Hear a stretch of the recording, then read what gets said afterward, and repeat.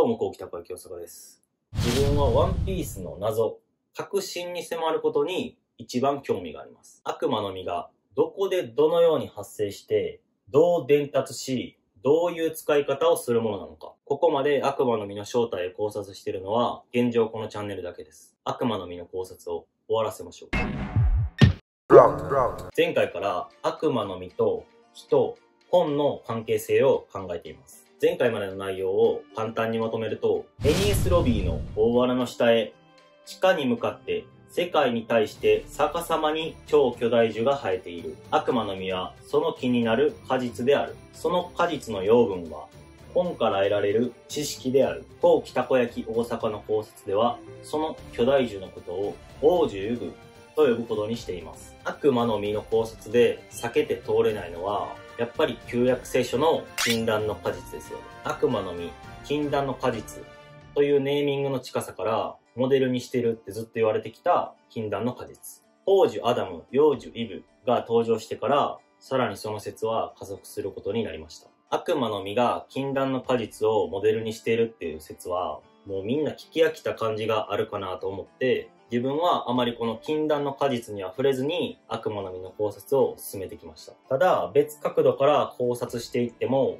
結果的に禁断の果実は悪魔の実の一つのモデルになっているっていうことが分かりました。禁断の果実がなる木の名前は、善悪の知識の木です。エデンの園で食べてはいけないとされていた果実で悪魔にそそのかされ、それを食べたイブとアダムが現在を背負い、楽園から追放されたという話です。一般的にその悪魔は蛇の姿とされています。みんなが知っているように悪魔、果実、背負う代償というキーワードがほぼ悪魔の実ですよ。アダムとイブは楽園から追放されたので、もちろんですが、善悪の知識の木は楽園に生えていることになります。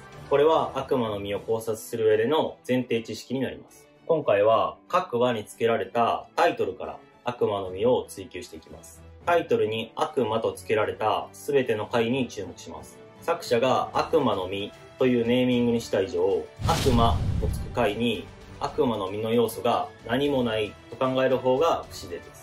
タイトルから考察していくと、自分の考察の補強になるものもあれば、新しい発見もできました。タイトルに悪魔の実とついているのは、19話、悪魔の実、341話、悪魔、391話、悪魔と呼ばれた少女、394話、小原の悪魔たち、1005話、悪魔の子、さらにロビンの技、悪魔咲きの読み方にもなっている、デモニオフルールのデモニオ、1021話のデモニオも考察します。まずは19話です。この回では、バギーが悪魔の実を食べる経緯の中で、シャンクスのセリフで悪魔の実の簡単な説明がされています。その中でバギーが海底の財宝に触れ、その後財宝の女神というワードを出します。海底というキーワード、散々出している聖母マリア、女神という要素につながります。さらに扉絵です。禁断の果実が記された旧約聖書では、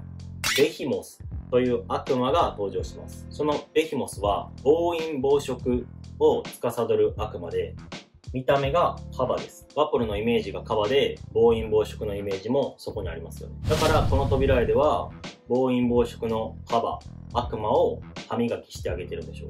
ぐるぐると泉もあります。次は341話。タイトルは悪魔です。内容的には、プルトンの設計図を見たことがあるアイスバーグさんが、ロビンのことを古代兵器を復活させる悪魔だと捉えているところです。その扉絵では、アラバスタから温泉島へのルートになる地下トンネルが開通しました。エニエスロビーの大穴のような地下世界のイメージでしょうか。前回の動画で紹介したカクとカリファが悪魔の実を食べる回の385話のタイトルは道はあるでした。次は391話悪魔と呼ばれた少女です。前回の動画でも触れたんですけど、この回では世界最大の図書館全知の木が登場し、悪魔と呼ばれたロビンの過去編に突入します。最初ロビンは切り株の上で本を読んでいます。で、その3話後、394話、小原の悪魔たち。これも小原編なので、本との関係は切り離せません。この回では本棚が倒されて、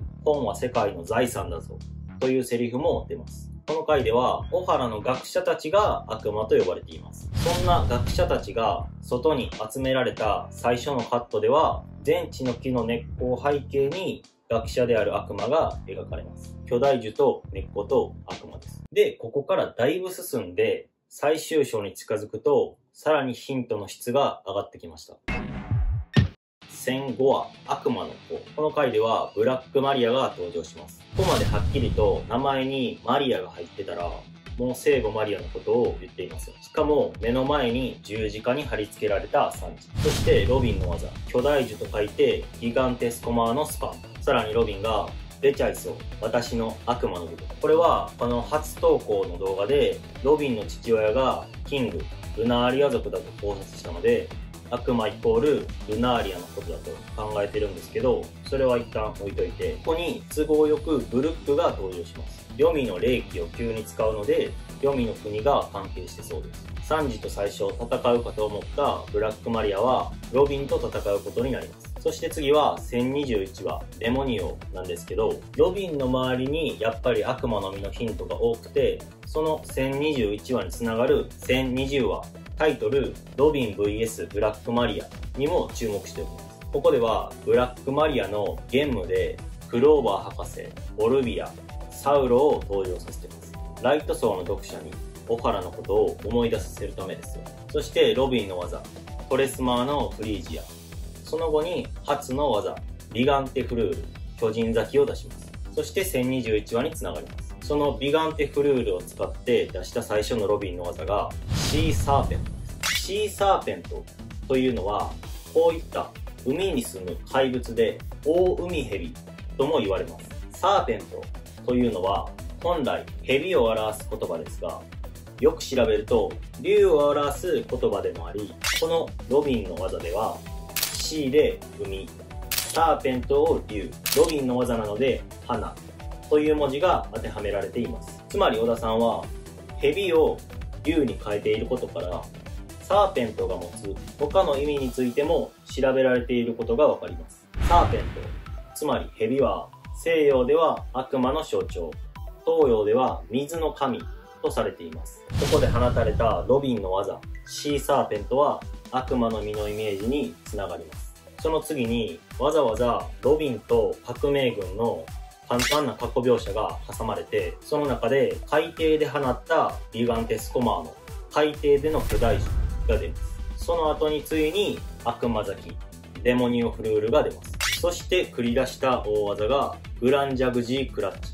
その漢字は大渦潮クラッチでした。悪魔の実の考察1本目で注目した大渦潮がここにも効いてきます。今までの悪魔の実の考察動画で出した要素が綺麗に繋がっています。その後に、またブルックが黄泉の霊気で攻撃を出します。さらに、341話悪魔では、フランキーはバーで怒って酒を飲み、1021話デモニオンの扉絵では、フランキーはバーで笑って酒を飲んでいます。391話悪魔と呼ばれた少女では、助けられるロビン。1005話悪魔の子では、逆に助けを求められるロビンという表裏一体のつながりも見えます。こんな感じで悪魔とタイトルにつく回にはただ悪魔の実そのものが登場したりするわけではなく付随する要素として本や巨大獣海底黄泉の国本女神マリアという要素がついていることが分かったと思います。